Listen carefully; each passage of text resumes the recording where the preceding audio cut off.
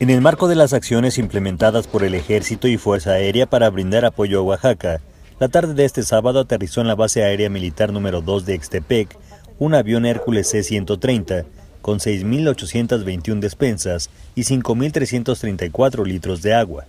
El ejército mexicano desplegó más de 1.900 elementos para aplicar el plan DN3C en Veracruz, Puebla y Oaxaca, en apoyo a la población afectada por el paso de la tormenta tropical Katia y el sismo del jueves pasado.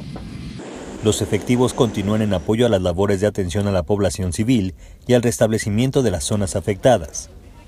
Con información de Enrique Valadez, Notimex.